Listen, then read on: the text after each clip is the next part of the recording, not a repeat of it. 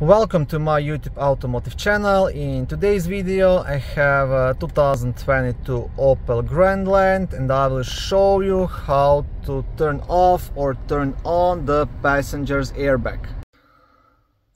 To turn the airbag off, first you'll want to lower down the glove box all the way down and now in the upper right corner you'll have like a small switch where you can turn the airbag off and on.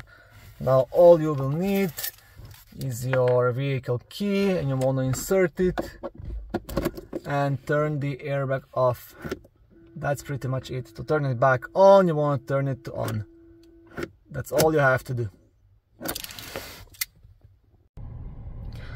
Thank you for visiting my channel and watching my video. I hope it was helpful. If it was, please like it and consider subscribing to my YouTube automotive channel.